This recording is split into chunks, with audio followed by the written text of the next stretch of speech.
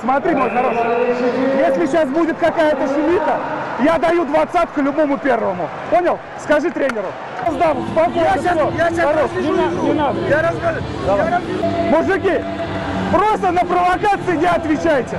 Карпуха, старина, там нечего делать, там ничего не будет все равно интересного. Успокоились!